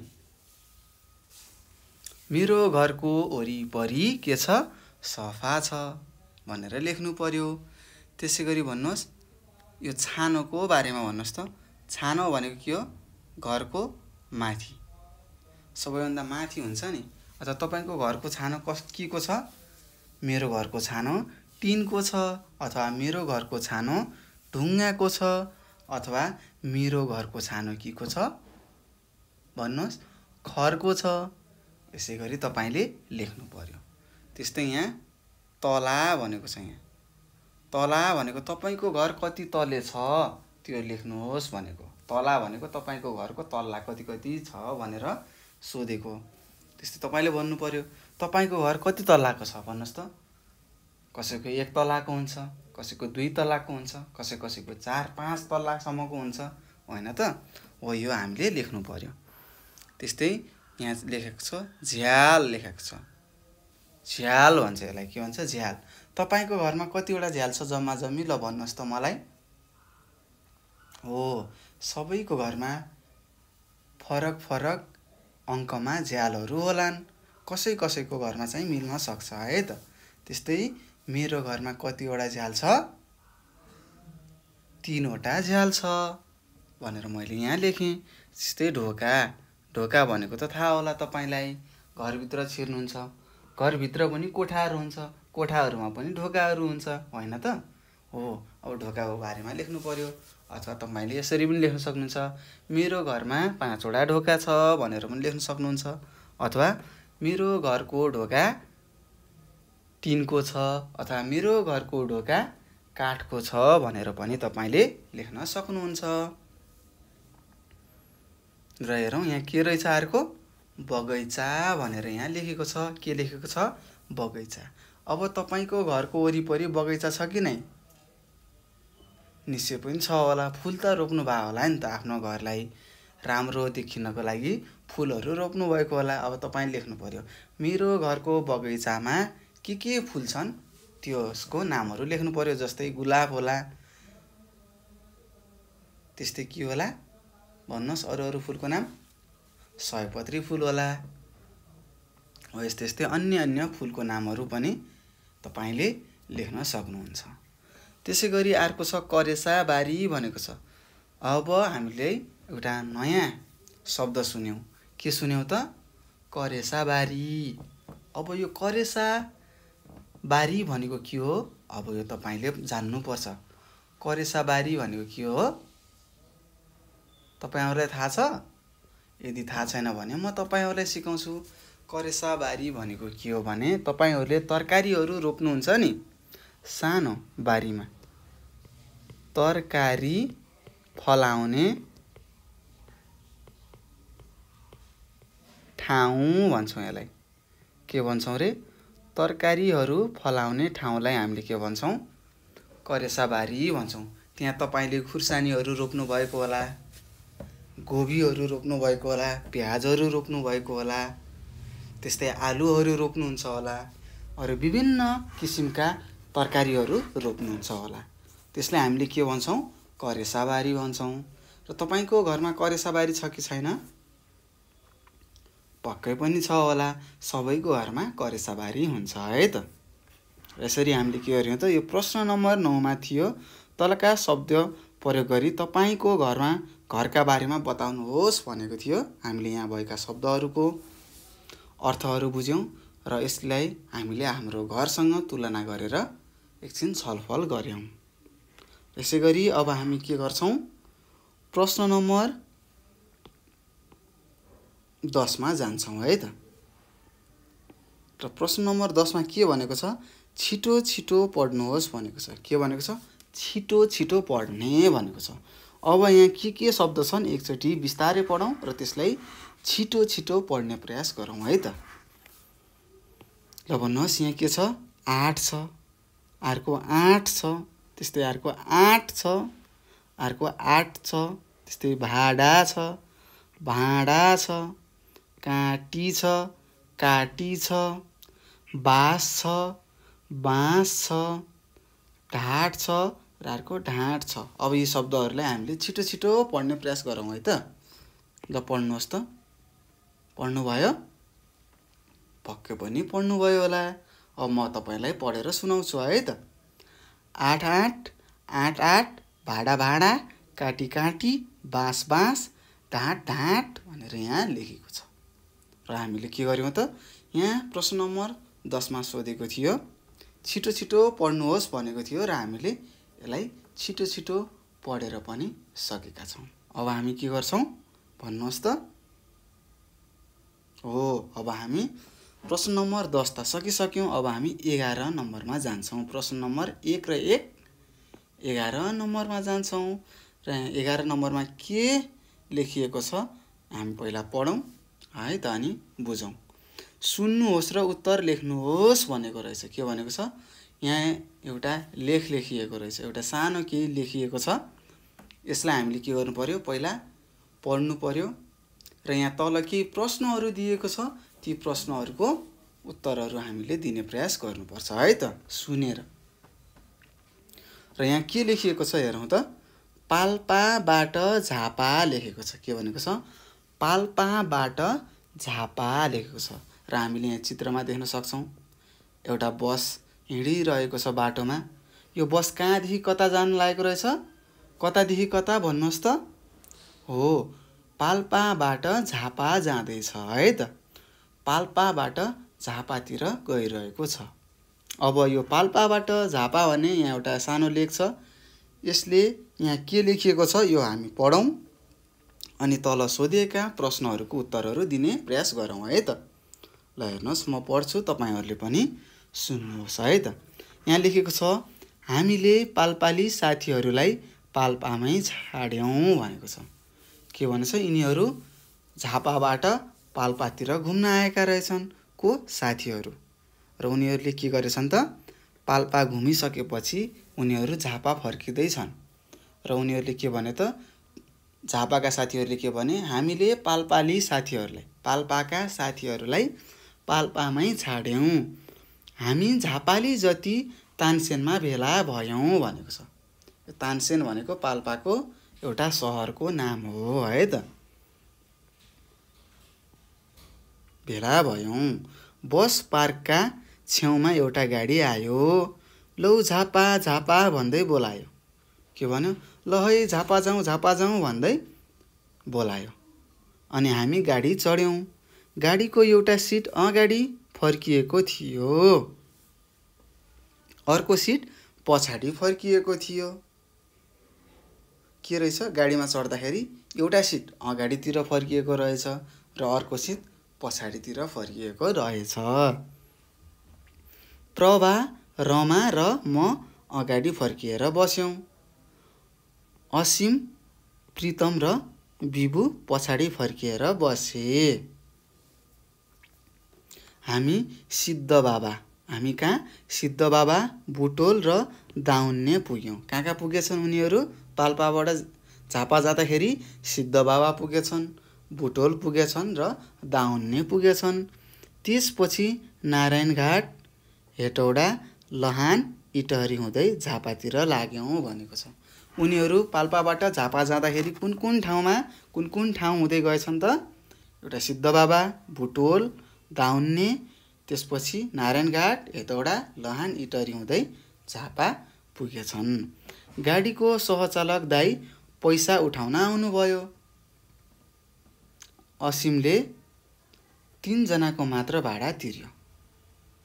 के गर्यो? असिमले तिनजनाको मात्र भाडा तिर्यो। सहचालक दाइले सोध्नुभयो तपाईँहरू छजना हुनुहुन्छ अनि भाडा चाहिँ किन तिनजनाको मात्र? भनेर सहचालक दाइले सोध्नुभएछ। असिमले भन्यो यिनीहरू पो झापातिर फर्किएका छन्। हामी त पाल्पातिरै फर्किएका छौँ। किन भाडा दिने? भनेर मजाक गरेका रहेछ। हामी सबै हाँस्यौँ। कसको कुरा सुनेर असिमको कुरा सुनेर सबैजना हाँसेछन्। सहचालक दाई पनि हाँस्नुभयो। बाँकी तिनजनाले भाडा तिरे कि तिरेनन् होला भनेर यहाँ बिचमा कुरा टुङ्गिएको छ सकिएको छ। पक्कै पनि सबैले भाडा तिरेको होलान्। सबैले भाडा तिर्नुपर्छ है। यदि सहचालकले मागेन भनेर नतिर्ने होइन तिर्नुपर्छ। किन? किनभने सहचालकले त्यही हामीले दिएको भाडाबाट खाना खाने हो आफ्नो परिवारहरू पाल्ने हो। त्यसैले हामीले भाडाहरू तिर्नुपर्छ है त? र यसरी हामीले के गर्यौँ त? पाल्पाबाट झापा जाँदै गरेका साथीहरूको बारेमा एउटा सानो लेख पढ्यौँ। अब हामीले के गर्नु पर्यो? यहाँ तल केही प्रश्नहरू सोधिएको छ। त्यो प्रश्नहरूको उत्तर दिने प्रयास गर्नु पर्यो है त? हुन्छ? ल हेरौँ। तपाईँले कतिको सम्झिनु भएको छ? अब यहाँ थाहा हुन्छ है त। यहाँ क नम्बरमा एउटा प्रश्न छ। यो प्रश्नले के सोधेको छ हेरौँ त। गाडी कहाँबाट कहाँसम्म जाँदै थियो भनेको छ। गाडी कहाँबाट कहाँसम्म जाँदै थियो? हामीलाई थाहा छ। अब यसको उत्तर लेखौँ। पाल्पाबाट झापातिर जाँदै थियो। अब यसलाई मिलाएर लेख्नु पर्यो। गाडी पाल्पाबाट झापातिर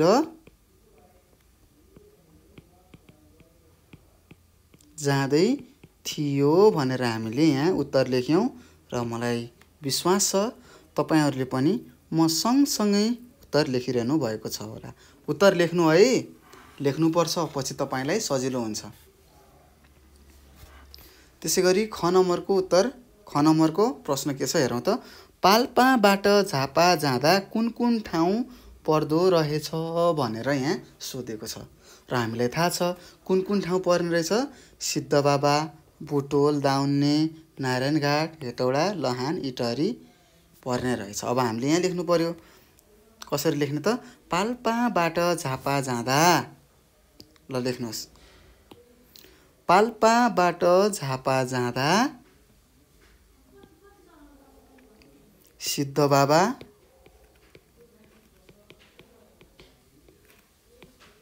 बुटवल दाउन्ने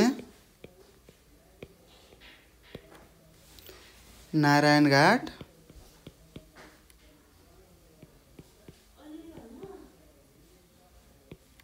हेटौडा लहान र इटहरी इटहरी ठाउँहरू पर्दा रहेछन् भनेर हामीले यसरी मिलाएर लेख्नुपर्छ है त? लेख्नुहोस् है? लेख्नुपर्छ। यसरी हामीले के गर्यौँ त? ख नम्बरमा सोधेको थियो पाल्पाबाट झापा जाँदा कुन कुन ठाउँ पर्दा रहेछन् भनेर सोधेको थियो हामीले यहाँ लेख्यौँ। पाल्पाबाट झापा जाँदाखेरि सिद्धबाबा बुटोल ताउन्ने नारायणघाट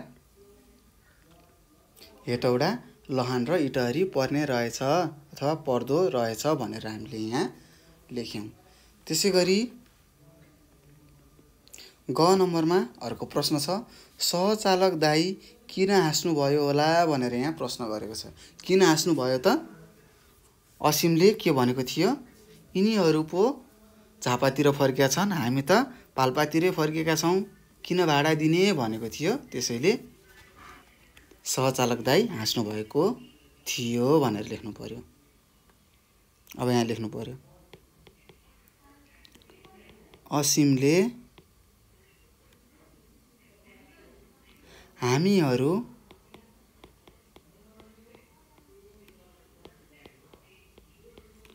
पाल्पातिरै फर्किएका छौँ।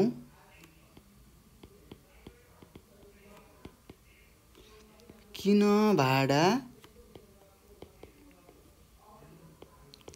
दिने भनेर भन्यो। असिमले हामीहरू पाल्पातिरै फर्केका छौँ। किन भाडा दिने? भन्दा सहचालक दाजु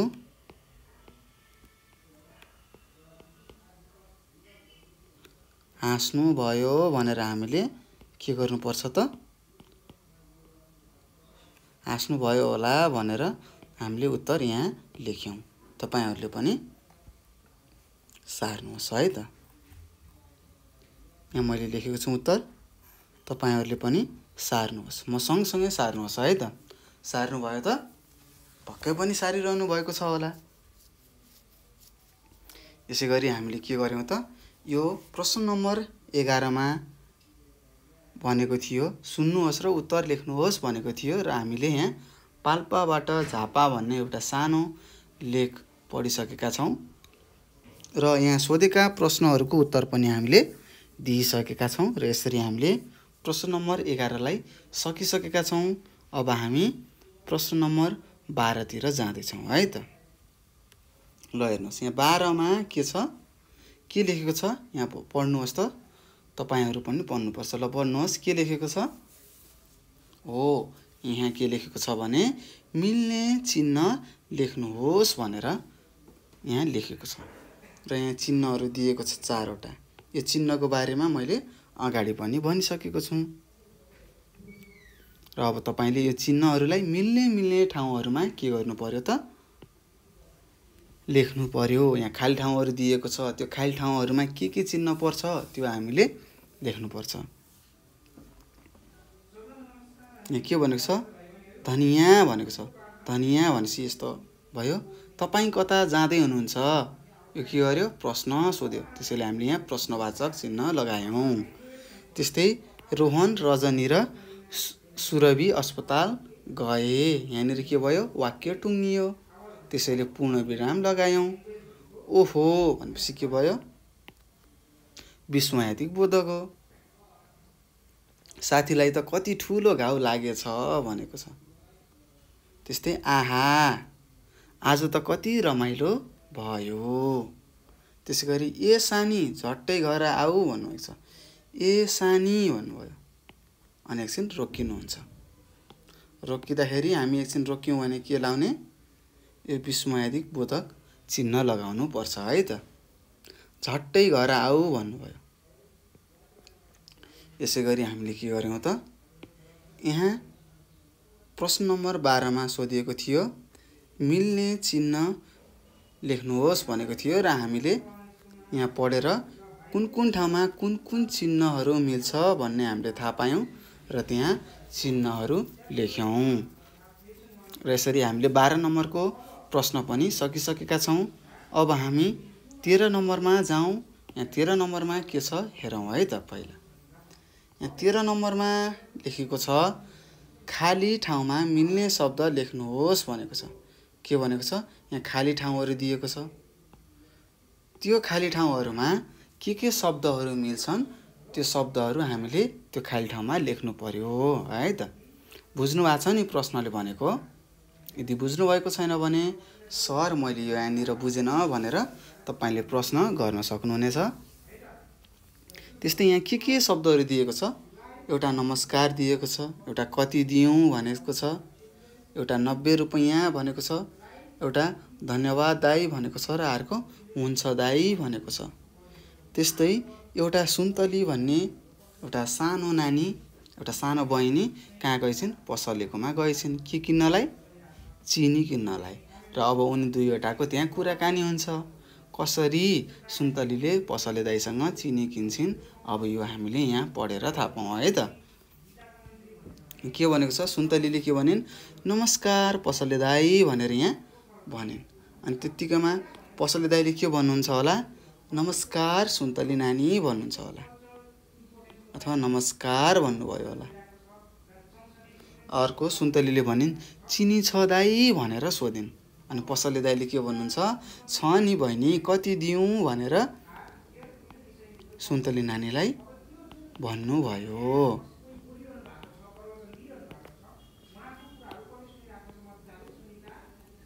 र अब फेरि सुन्तलीले भनिन् एक किलोको कति पर्छ? भनेर के गरिन् त पसले दाईलाई प्रश्न गरिन्। अनि पसले दाईले के भन्नुहुन्छ होला? नब्बे रुपियाँ पर्छ भन्नुहुन्छ होला। नब्बे रुपियाँ पर्छ भन्नुभयो। अनि त्यसपछि फेरि सुन्तलीले के भनिन् दाजु मलाई आधा किलो दिनुहोस् न भनेर यहाँ भनेकी छन्। र पसलेले के भन्छ? ल ल्याऊ भन्छ। ल ल्याऊ भनेर आधा किलो जोखेर सुन्तलीको हातमा दिन्छ। अनि सुन्तलीले के भनिदिन्छ के भन्छन् होला? धन्यवाद दाई भन्छन्। के भन्छन्? धन्यवाद दाई भनेर भनिन्।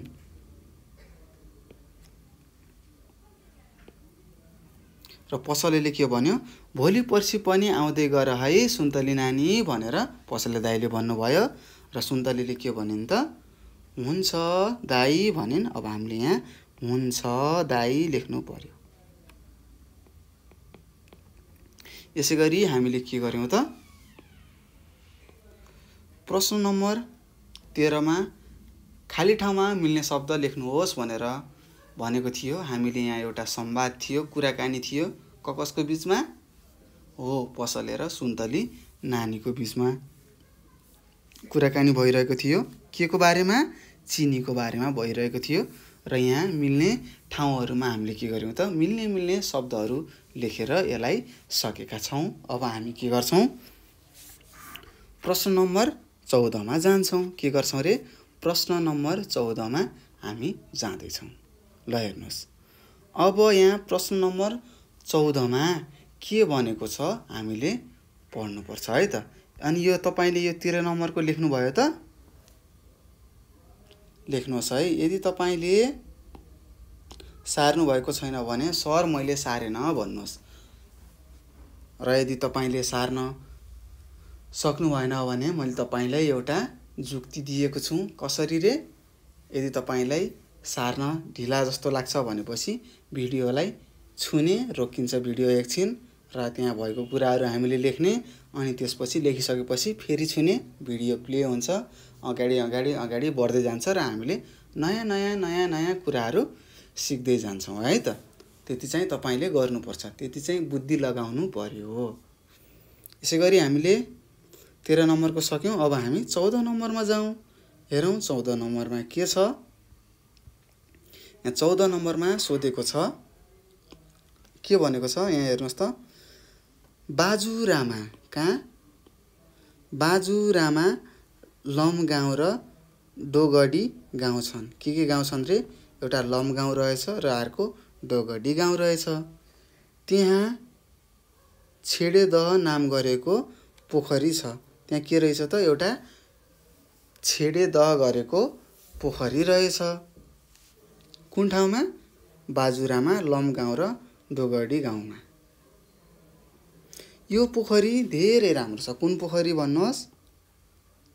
छेडेदह नाम गरेको पोखरी धेरै राम्रो रहेछ। पोखरी हेर्न धेरै मानिसहरू आउँछन्। तपाईँलाई पनि त्यहाँ जाउँ जाउँ लाग्यो होला। अब तपाईँ छिडेदह कसरी जानुहुन्छ कापीमा लेखेर कक्षामा सुनाउनुहोस् भनेर यहाँ तपाईँलाई एउटा प्रश्न गरेको छ। के भनेको छ? एउटा बाजुरा भन्ने जिल्लामा नेपालको बाजुरा भन्ने जिल्लामा लम गाउँ र डोगडी गाउँ भन्ने दुईवटा गाउँ रहेछ। त्यहाँ के रहेछ त? एउटा छेडे दह नाम गरेको एउटा दह रहेछ। एउटा पोखरी रहेछ। त्यो पोखरी धेरै अत्यन्त राम्रो रहेछ र त्यो पोखरीलाई अथवा त्यो पोखरीमा घुम्न अथवा हेर्नलाई धेरै मानिसहरू जाने रहेछन्। र यदि तपाईँलाई पनि त्यहाँ जान मन लाग्यो भने तपाईँ कसरी त्यहाँ जान सक्नुहुन्छ त्यसलाई हामीले कपीमा लेखेर के भनेको छ? कक्षामा सुनाउनुहोस् भनेको छ। अब हामीले त्यहाँ कसरी जान सक्छौँ त ल भन्नुहोस् त। पहिला त हामीलाई थाहा हुनु पऱ्यो बाजुरा जानको लागि पहिला हामीलाई कहाँ पुग्नुपर्छ त्यो थाहा हुनुपर्छ ल भन्नुहोस् त पहिला हामीले कहाँ पुग्नु पर्ने रहेछ त? सुर्खेत जानुपर्छ। पहिला यदि म त्यस छिडेदहमा जानको लागि म भए के गर्थेँ? म पहिला गाडी चढेर सुर्खेत भन्ने ठाउँमा जान्थेँ। र सुर्खेत भन्ने ठाउँबाट यो बाजुराको लम्बगाउँ अथवा डोगडी गाउँ जाने गाडीमा म बस्थेँ र म त्यो गाउँमा झर्थेँ गएर। त्यहाँको मान्छेहरूसँग यो छिडेदहको अथवा छिडेदह पोखरीको बारेमा सोध्थेँ अनि बाटोहरू पत्ता लगाएर म कहाँ जान्थेँ त? छिडेदह घुम्न जान्थेँ त्यहाँ गएर फोटोहरू खिच्थेँ। अनि त्यो फोटो के गर्थेँ? फेसबुकमा हाल्थेँ होला होइन? हो नि। तपाईँहरू तपाईँहरू पनि त फेसबुक चलाउनुहुन्छ होला नि। फोटोहरू राख्नुहुन्छ होला। राम्रो राम्रो ह्यान्डसम ह्यान्डसम ह्यान्डसम ब्युटिफुल भएको फोटोहरू राख्नुहुन्छ होला। र यसरी हामीले के गर्यौँ त? प्रश्न नम्बर चौधमा रहेको छिडे दहमा हामी कसरी पुग्न सक्छौँ भनेर हामीलाई प्रश्न गरे।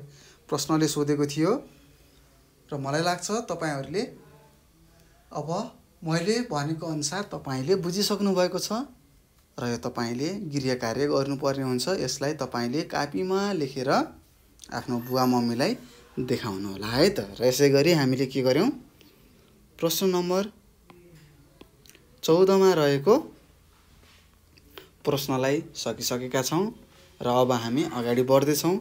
र यहाँ के दिएको छ त?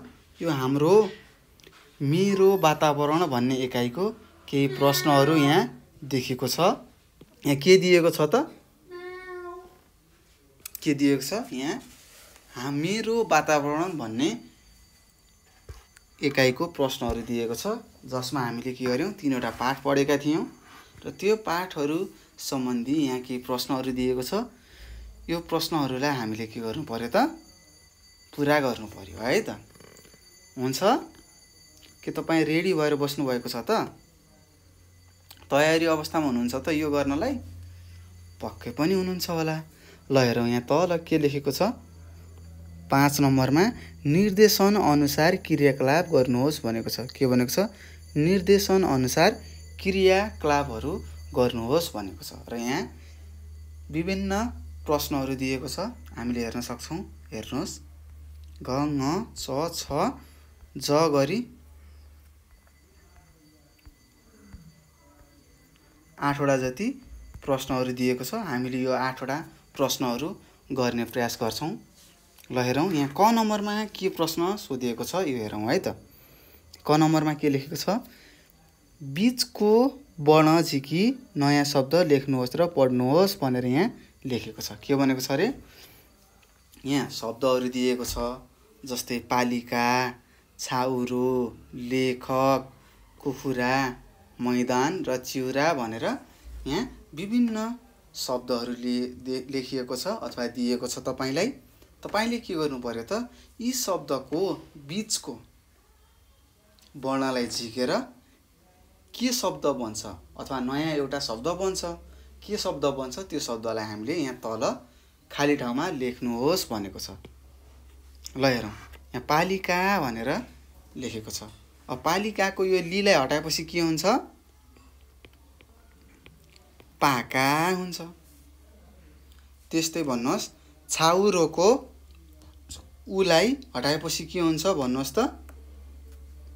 छारो हुन्छ। त्यस्तै लेखकको खलाई हटाएपछि लेख हुन्छ। त्यसै गरी कुखुराको खुलाई हटाएपछि के हुन्छ? कुरा भयो। त्यसै गरी भन्नुहोस् मैदानको दालाई हटाएपछि के हुन्छ अरे? हो ठिक भन्नुभयो। के भयो? मैन हुन्छ। त्यसै गरी चिउराको उसलाई हटाउनुहोस् के हुन्छ?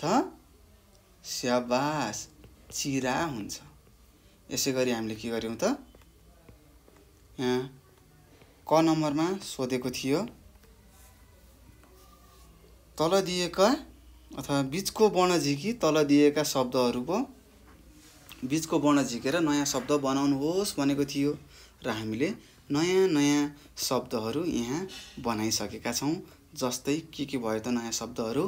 पाका भयो छारो भयो लेक भयो कुरा भयो मैन भयो र अन्तिममा के भयो? चिरा भयो है त? र यसै गरी हामीले कको सक्यौँ? अब हामी खमा जाउँ। खमा के भनेको छ?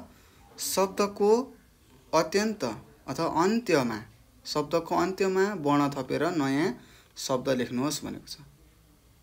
के भनेको छ? यहाँ यो शब्दहरू दिएको छ। यो शब्दहरूको अन्तिममा के गर्नु पर्यो त? यहाँ दिएको थ शब्दलाई अथवा वर्णलाई हामीले थपेर नयाँ शब्द बनाउनुहोस् अथवा लेख्नुहोस् भनेको छ। जस्तै शब्दहरू के के दिएको छ? यहाँ वर्णहरू यो दिएको छ लि दिएको छ न भनेर दिएको छ। अब हाम्रो काम के रहेछ त? यो माथिको वर्णहरूलाई अन्तिममा लेख्नु पर्यो। यहाँ तल खाली ठाउँ दिएको छ। त्यो खाली ठाउँमा लगेर यो शब्दहरू जोड्नु पर्यो भनेको। र यो जोडिसकेपछि के हुन्छ?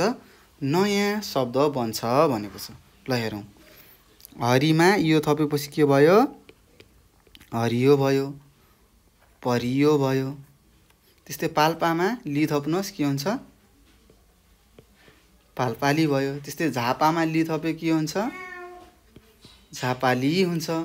त्यस्तै सामामा नथपेपछि के हुन्छ? सामान हुन्छ र जीवमा नथपेपछि जीवन हुन्छ। यसै गरी हामीले के गर्यौँ त? प्रश्नले भनेअनुसार दिएको वर्णलाई अन्त्यमा अथवा अन्तिममा अथवा खाली ठाउँमा लगेर राखेर हामीले नयाँ नयाँ शब्दहरू बनायौँ। जस्तै के के बन्यो त यो शब्दहरू? हरियो बन्यो परियो बन्यो पालपाली बन्यो झापाली बन्यो सामान बन्यो र जीवन बन्यो। यसरी हामीले ख नम्बरले सोधेको प्रश्नले जसरी सोधेको छ त्यसरी नै हामीले उत्तर दिएर सकिसकेका छौँ। अब हामी ग नम्बरमा जाउँ। हेरौँ ग नम्बरमा के भनेको छ? पढौँ है त। ग नम्बरमा भनेको छ सुन्नुहोस् र उत्तर भन्नुहोस् भनेको छ। के भनेको छ? यहाँ के लेखेको छ? यो कुरालाई हामीले पढ्नुपर्छ। अनि यहाँ तल सोधेको प्रश्नहरूको उत्तर दिनुपर्छ है त। अब हेरौँ है त यहाँ के लेखेको छ। आकृतिको घरमा पाहुना आउनुभयो। आकृतिको घरमा पाहुना आउनुभयो उहाँ लेखक हुनुहुँदो रहेछ। को? आकृतिको घरमा आएको पाहुना लेखक हुनुहुँदो रहेछ। त्यस्तै पाहुनाले आकृतिलाई कृति देखाउनु भयो पाहुना गजबको हुनुहुँदो रहेछ। त्यहाँ महिला त्यहाँ माहिला दाई आइपुग्नु भयो को दाई आउनुभएछ? माहिला दाई आउनुभएछ। उहाँले हिलो पोखरीमा कपडा धुनुभएछ कस्तो पोखरीमा अरे हिलो भएको पोखरीमा। दाईको कपडामा हिलो लागेछ। मैले पाहुनालाई दही र चिउरा दिएँ। कसले पाहुनालाई दही र चिउरा दिनु दिएछ? आकृतिले पाहुनालाई दही र चिउरा दिएछन्। पाहुनाले दही र चिउरा खानुभयो। मैले मेरो किताब देखाएँ। कसले देखायो? आकृतिले त्यहाँ आफ्नो घरमा आएको पाहुनालाई कपी किताबहरू देखाउनु भएछ अथवा देखाइछन्। सबैजनाले स्वस्थ जीवन कविता गायौँ। आहा कति रमाइलो भयो भनेर यहाँ लेखेको छ। र यहाँ के भनेको छ? केही प्रश्नहरू दिएको छ। प्रश्नहरूको उत्तर दिने प्रयास हामी गरौँ है त? हुन्छ? पक्कै पनि हुन्छ होला। ल अब हामी सुरु गरौँ। अब हामी अ नम्बरको प्रश्नले के सोधेको छ त्यसको उत्तर लेखौँ है त। को लेखक हुनु हुनुहुँदो रहेछ भनेर सोधेको छ। को रहेछ लेखक? पाहुना। अब यहाँ लेख्नु पर्यो। पाहुना।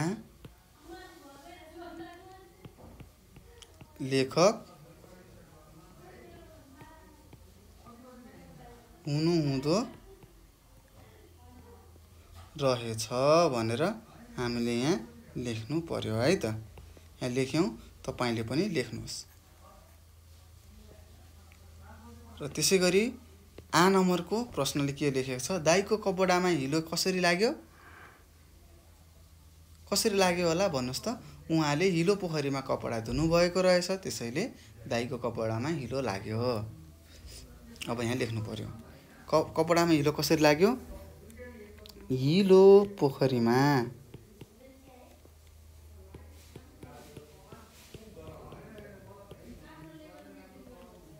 कपडा धोएको कारण।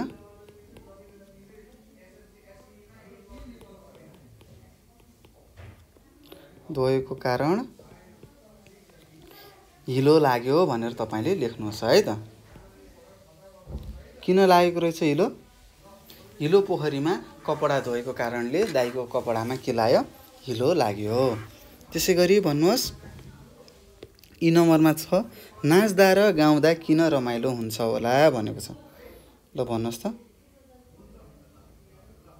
नाच्दा र गाउँदा किन रमाइलो हुन्छ? किनभने तपाईँलाई थाहा नै होला। नाच्दा र गाउँदाखेरि हामीलाई भित्रबाट छुट्टै इनर्जी आउँछ नि। छुट्टै अर्कै महसुस हुन्छ। रिलिफ हलुका महसुस हुन्छ। त्यसैले हामीलाई रमाइलो हुन्छ भनेर लेख्नुपर्छ है त। यो चाहिँ तपाईँले लेख्नु पर्यो। तपाईँलाई किन रमाइलो लाग्छ? यो चाहिँ तपाईँले लेख्ने। यसै गरी हामीले ग नम्बरको सुन्नुहोस् र उत्तर भन्नुहोस् भनेको थियो। हामीले गरिसकेका छौँ। अब हामी घ नम्बरमा जाउँ। घ नम्बरमा के कस्तो प्रश्नहरू छ यो अब हामी हेरौँ है त। खाली ठाउँमा मिल्ने चिन्ह लेख्नुहोस् भनेको छ। के भनेको छ? खाली ठाउँमा मिल्ने चिन्ह लेख्नुहोस् भनेको छ। ल अब हेरौँ है त। अमा के छ? हजुर कहाँबाट आउनुभयो भनेर यहाँ सोधेको छ। के भयो? यो प्रश्न गरेको छ। त्यसैले हामीले यहाँ प्रश्नवाचक चिन्ह लगायौँ। भाउजूले पाउजू लगाउनु भयो। वाक्य टुङ्गियो। त्यसैले हामीले यहाँ के गर्यौँ? पूर्णविना पूर्णविराम चिन्ह लगायौँ। काभ्रेली पालपाली र झापालीको भेट भयो भनेर हामीले यहाँ चिन्हहरू लगाइसकेका छौँ। र मलाई पूर्ण विश्वास छ तपाईँहरूले यो आफ्नो कपीमा लेखिसक्नु भएको छ होला। लेख्नुहोस् है लेख्नुपर्छ अनि मात्र हामीलाई पछि पढ्न सजिलो हुन्छ। यसै गरी हामीले घ नम्बरमा खाली ठाउँमा मिल्ने चिन्ह लेख्नुहोस् भनेको थियो। हामीले मिल्ने ठाउँमा मिल्ने चिन्हहरू लेखिसकेका छौँ र यसरी घ नम्बर सक्यौँ। अब हामी कतिमा जान्छौँ? ङ नम्बरमा जान्छौँ। ल हेर्नुहोस्। ङ नम्बरमा के प्रश्न सोधेको छ? ल भन्नुहोस् त। यहाँको प्रश्न पढ्नुहोस्।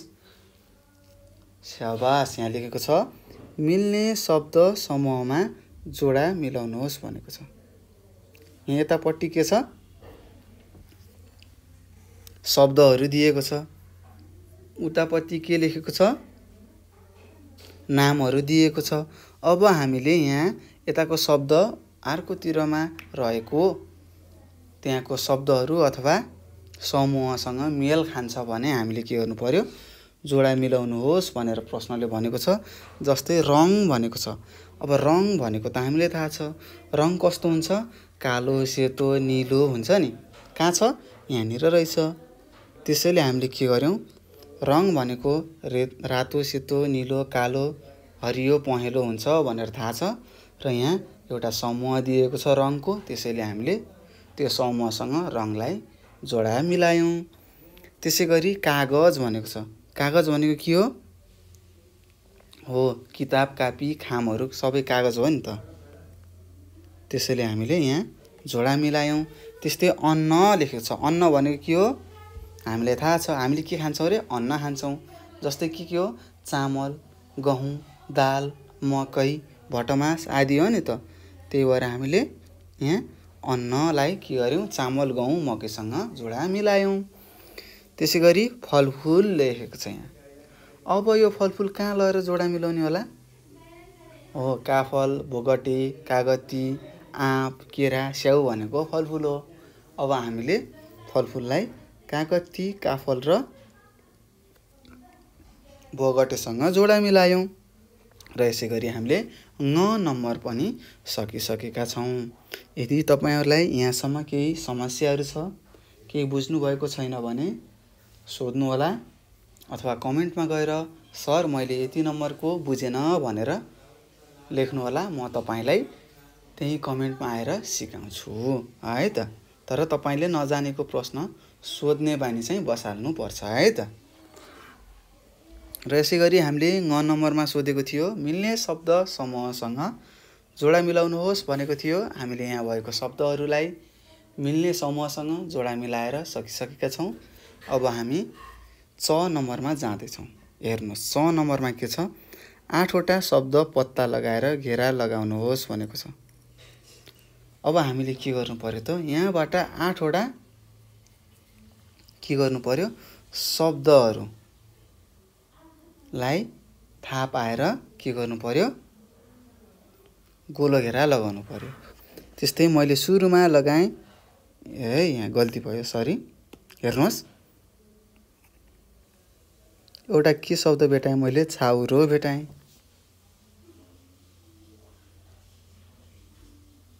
अस्ति अर्को मैले टाकुरो भेटाएँ। अर्को मैले कर भेटाएँ।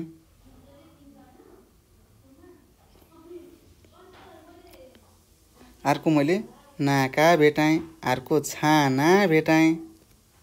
हेर्नुहोस् त। अर्को एउटा ताउली भेटाएँ। अर्को अर्को?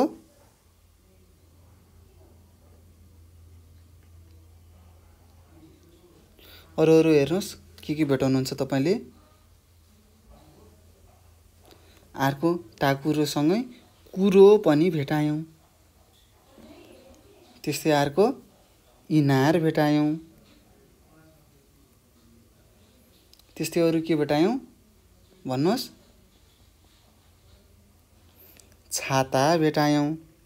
हामीले यहाँ धेरै शब्दहरू भेटाइसकेका छौँ। अब हामीले के के शब्दहरू भेटायौँ त्यसलाई यहाँ तल लेखौँ है त। एउटा के भेटायौँ अरे छाना भेटायौँ। त्यस्तै अर्को छाता भेटायौँ। त्यस्तै अर्को छाउरो भेटायौँ। त्यस्तै अर्को हामीले के भेटायौँ? नाका भेटायौँ। त्यस्तै अर्को ताउली भेटायौँ। अर्को के भेटायौँ? टाकुरो भेटायौँ। अर्को इनार भेटायौँ। के भेटायौँ रे? इनार भेटायौँ। र अर्को के भेटायौँ त? कर भेटायौँ। र अरू अरू शब्द पनि हामीले भेटाएको थियौँ। कुरो भेटाएको थियौँ। होइन? अर्को काली छ ताल भन्ने पनि एउटा शब्द हो। यहाँ धेरै शब्दहरू छ।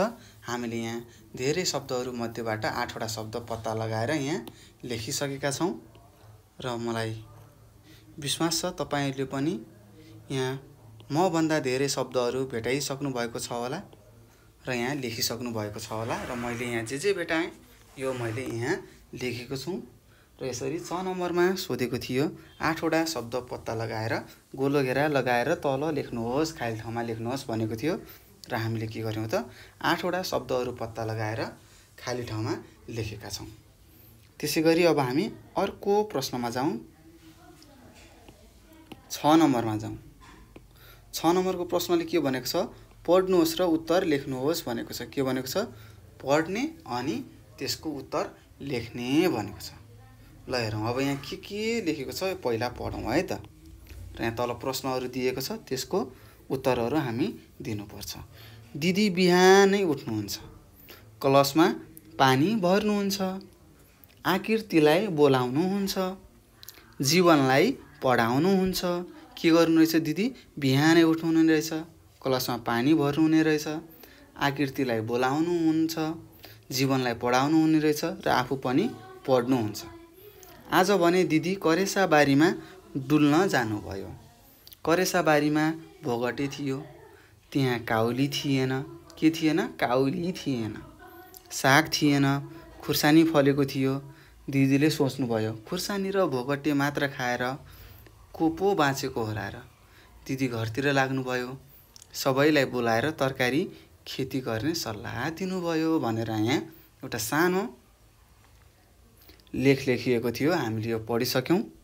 र यहाँ के छ? विभिन्न प्रश्नहरू सोधेको छ। अब यो प्रश्नहरूको उत्तर दिने प्रयास हामी गरौँ है त। त्यस्तै अ नम्बरमा सोधेको छ दिदी के के गर्नुहुन्छ? भनेको छ। दिदी के के गर्नुहुन्छ? दिदी बिहानै उठ्नुहुन्छ।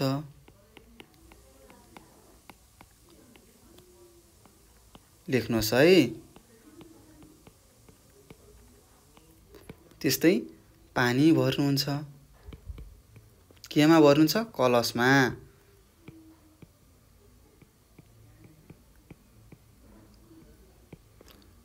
आकृतिलाई बोलाउनुहुन्छ पढाउनुहुन्छ लेखौँ यहाँ।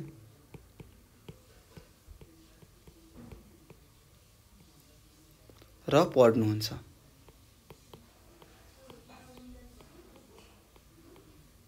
यसरी मैले यहाँ उत्तरहरू लेखेको छु। तपाईँले पनि सार्नुहोला।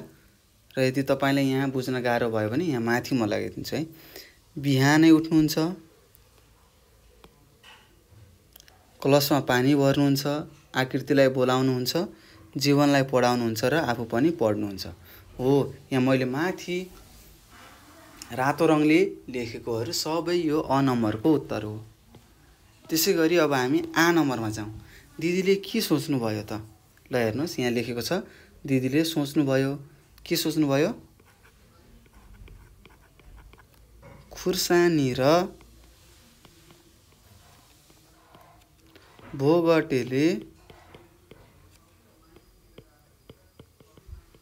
मात्र खाएर को पो बाँचेको होला भनेर सोच्नुभयो।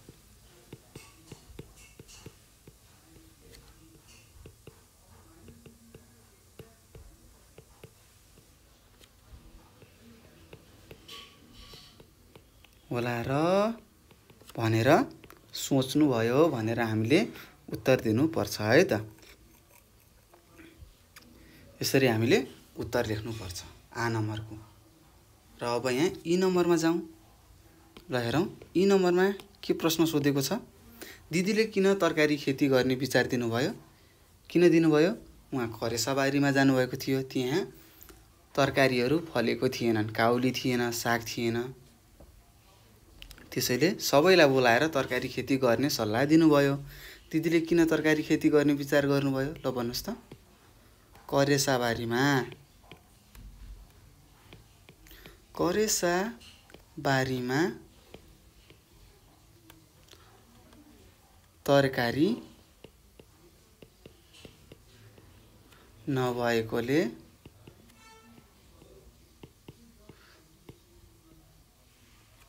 तरकारी खेती